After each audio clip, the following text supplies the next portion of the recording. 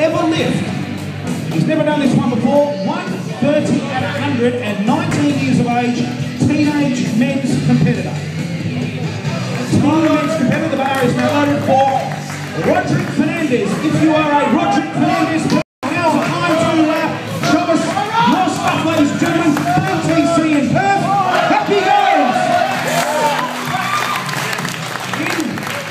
uh, three thumbs, three